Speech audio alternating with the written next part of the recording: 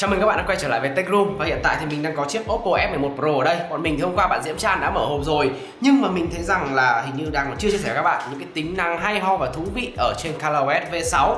Vì thế trong video này mình sẽ cùng chia sẻ với các bạn những cái điều đó nhá. Ok, bắt đầu video nào.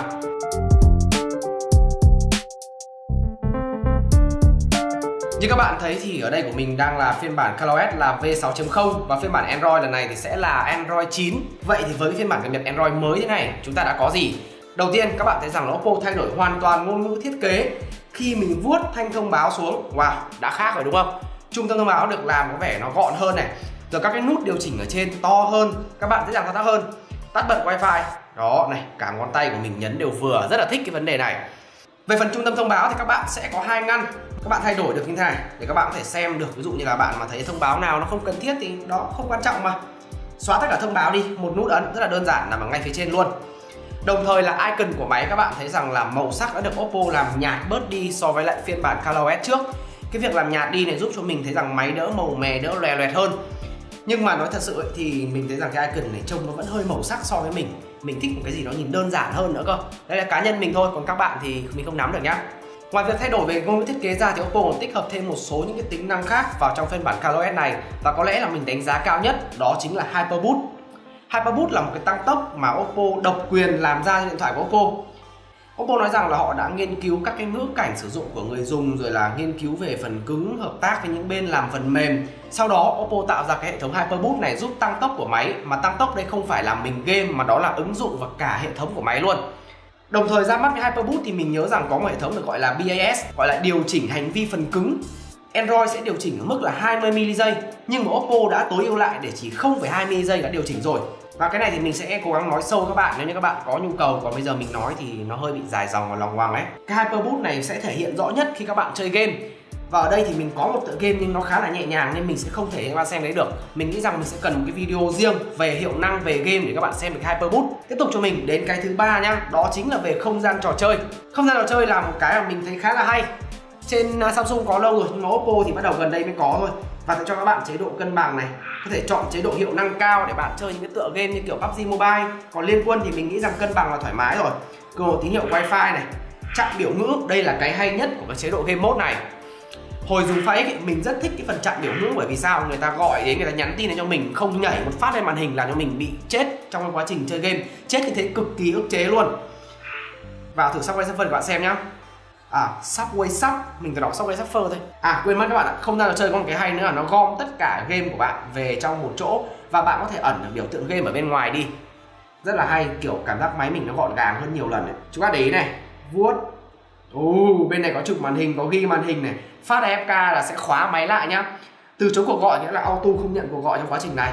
Còn không làm phiền này là tức là sẽ không được cái thông báo kiểu là Messenger, Zalo Đang chơi điện tử mà bố nhắn tin. Anh ơi đưa em đi nhá. Anh không biết anh có nhận được tin thông báo đâu. Anh không hề nhận được một tin nhắn nào của em cả. Chắc là do máy anh nó lỗi. Đấy, các bạn thấy không? Lý do mà. Hay chứ, tuyệt vời. Thế trải nghiệm chơi game thì ngoài cái việc tăng tốc ra rồi là gom tất cả mọi thứ lại thì mình thấy rằng là cũng rất là ok. Mình sẽ sớm có cái video test kỹ hiệu năng chiếc máy cho các bạn nhé và nếu các bạn mà thích mình làm sâu sắc hơn về cái vấn đề hiệu năng thì cứ comment ở dưới. Và như vậy thì chúng ta vừa xong cái phần không gian trò chơi. Sau không gian trò chơi thì Oppo có nâng cấp một cái phần được gọi là Cloud Space. Cloud Space đây chính là không gian đám mây Oppo Cloud. Oppo Cloud có rất là lâu rồi. Thế nhưng mà không hiểu sao đến cái phiên bản này thì mình cảm thấy là càng ngày nhìn nó càng giống iCloud các bạn. Đăng nhập vào có 5 GB này, có ảnh, có danh bạ này, rồi là có nhiều thứ để sao lưu ở trên này. Hy vọng rằng đây sẽ là một cái cloud khá là tốt cho các bạn ở dùng Oppo và các bạn nãy giờ có để ý mình đang dùng cái gì không? Mình hoàn toàn không dùng cái phím điều hướng. Đó sổ xịn chưa? Vuốt này, đây là bách này. Các bạn muốn đa nhiệm đúng không? Vuốt bên này. Từ từ mình vuốt fail rồi. Đó, đa nhiệm của chúng ta đây. Trong phiên bản mới này, Oppo nâng cấp các bạn rất nhiều những cái tùy chọn cử chỉ toàn màn hình để các bạn có thể thoải mái lựa chọn theo ý các bạn. Và để tìm được các bạn vào trong cài đặt này rồi vào hỗ trợ thuận tiện. Sau đó bạn sẽ vào phần phím điều hướng. Đó, có phím ảo, có cử chỉ vuốt lên cực kỳ vuốt lên, cực kỳ nhiều luôn. Và mình rất là thích cái điều này. Đấy, chúng ta có thể là vuốt như thế này, kiểu vuốt là rất giống Samsung. Và tiếp theo thì sẽ là cái chế độ được gọi là riding mode. Chế độ riding mode này sẽ hỗ trợ các bạn khi mà đang lái xe, nó nằm ở trong phần dịch vụ thông minh. Lái xe thông minh này. Ở đây các bạn sẽ có tùy chọn chế độ lái xe và đi xe. Lái xe là bạn cầm vô lăng lái ô tô ấy, còn đi xe là tay bạn sẽ lái xe máy. Nói chung là hai cái chế độ lái xe và đi xe đều xem xem nhau một chút, Tức là tối ưu cho các bạn trong quá trình di chuyển trên đường Để bạn tránh bị ảnh hưởng bởi những cái thông báo của điện thoại sẽ giúp cho bạn là tập trung lái xe hơn và an toàn hơn. Nhưng mà mình thật sự khuyên các bạn là đã đi xe, chúng ta không nên động vào điện thoại, nên dừng vào lề đường hay đó dừng hẳn lại, hãy nghe. Chứ đừng kiểu đang đi xong cố gắng nghe, nguy hiểm lắm, ảnh hưởng cả người xung quanh nữa. Bây giờ màn hình của mình tắt rồi. Nhưng mà trên Oppo có một cái mà trước giờ mình vẫn luôn luôn thích, đó chính là những cái cử chỉ tắt màn hình. Các bạn có thể chạm hai lần để sáng này. Ôi sao nó không sáng ta? À nó sáng rồi các bạn nãy mình chạm chưa đủ lực rồi là các bạn có thể vuốt như thế này để bật nhạc này, hay các bạn vẽ chữ V để các bạn có thể là bật đèn flash, rồi là vẽ chữ O để vào camera.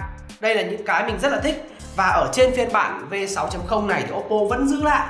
Mặc dù nó không phải tính năng mới, nhưng mà mình vẫn muốn đưa vào để các bạn tham khảo và các bạn thấy rằng là Oppo có những cái khá là hay từ rất là lâu đã có rồi. Nhưng mà chúng ta ít dùng đến bởi vì gần như chúng ta quên mất. Và cuối cùng trong số những thay đổi này thì Oppo có đưa ra một cái được gọi là quản lý hệ thống thông minh quản lý hệ thống thông minh này là sẽ tự động dừng các ứng dụng mà hiếm được sử dụng lại. Ứng dụng hiếm được sử dụng, ví dụ như là các bạn không dùng danh bạ thời gian dài chẳng hạn thì Oppo sẽ buộc dừng ứng dụng nó lại luôn. Để các bạn đỡ phải thấy nó chạy ngầm, đỡ tốn pin, đỡ hao ram. Nhẽ ra là kết thúc video rồi đấy. Nhưng mà mình chia sẻ các bạn thêm một cái nữa thì mình thấy rằng cái này ngày xưa rất rất nhiều người nói Oppo. Đó chính là phần không cho thay đổi DPI ở trên điện thoại. Thực ra đến phiên bản này của chúng ta thì Oppo đã để lại cái phần thay đổi DPI đó chứ không phải là ăn cắt nó đi không cho phép bạn chỉnh nữa. Bởi vì ra nó đi theo Android mà không phải là của Oppo đâu. Nhưng mà Oppo không muốn bật lên thôi. Còn bây giờ thì bật rồi. Các bạn vào cài bổ sung này. Chúng ta sẽ à, tìm đến phần tùy chọn nhà phát triển. Còn để bật nhà phát triển thế nào ấy? Thôi mình lười lắm bạn nào thích thì comment ở dưới mình chia sẻ cho nhá. Nói ra dài dòng đi luôn ở phần của chúng ta là chỉnh DPI hay còn gọi là mật độ hiển thị thì phải. Ừ, đúng rồi mật độ hiển thị. Để để mình tìm đã. Đây chiều rộng tối thiểu này. Của mình nó là 360 đúng không? 480 nhá. Uh, trời ơi bé chưa? Đấy, màn hình hiển thị được thêm rất là nhiều thông tin cho các bạn. Hết chữ Oppo nha. Và các bạn thấy sao về những cái tính năng mới ở trên ColorOS V6 này? Các bạn có muốn mình làm sâu hơn cái gì hay có cái điều gì góp ý cho mình Nhớ để cái phần bình luận nhá Xin chào mọi người và hẹn gặp lại trong những video lần sau. Đừng quên like và sub cho team của mình nha.